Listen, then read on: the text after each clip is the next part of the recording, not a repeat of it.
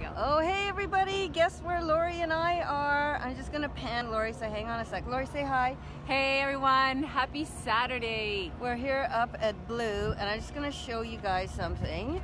What you think you can do and what you think you can do.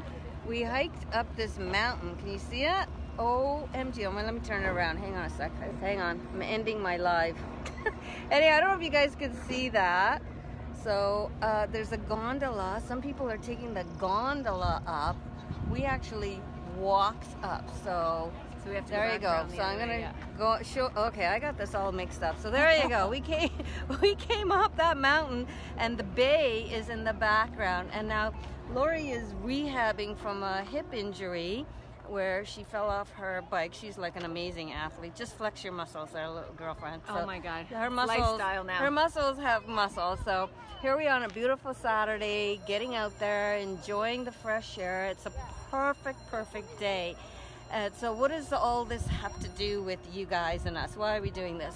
It's always pushing the envelope and doing the thing you think you can't do because when you do it, you know, you're like, oh, that's pretty cool. I didn't think I could, and now I can. So we walked up this mountain, and a lot of people are taking the gondola up. Oh, you see that? There's people taking the gondola up. Let me go this way. There you go. They're taking the gondola. But we walked up up it, and we had to take stops. We had to like walk straight up. Yep. I Find think a level- that's the message is uh, there was a time when I could have like jogged this hill and when you're rehabbing nerves they get tired and the smart thing to do is not be stupid and try and grind and push but to just do a little bit celebrate the win. We'd stop we'd have a sip of water we would rest and then we do the next section. And there's probably eight sections to do. Who cares how fast? There's and that's the biggest thing is we're so conditioned culturally to have to grind it out to have to do it perfectly to have to be at some elevated level especially when you're already an athlete. Challenging yourself to be uncomfortable and do a little bit and celebrate wherever you're at and then can i do just a little bit more? Can i take another five steps? Can i go another 20 feet?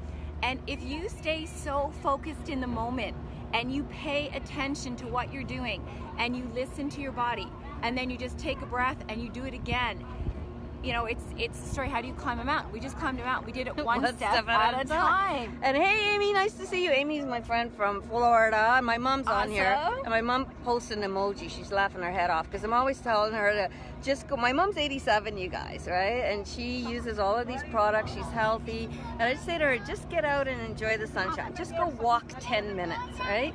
So, mom, I hope you're getting out there and enjoying the sunshine, and just you know, do what you can and rest if you get tired. Just stop, enjoy where you are, because we're also focused in the doing.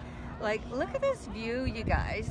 We, we you know, when we- That's the being. Yeah. The being part is the conversation we've had every time we paused. Because when we were walking, because Carolyne's also coming off an injury, we're very focused on every step we're taking. So you pause and you look around and you breathe and you appreciate.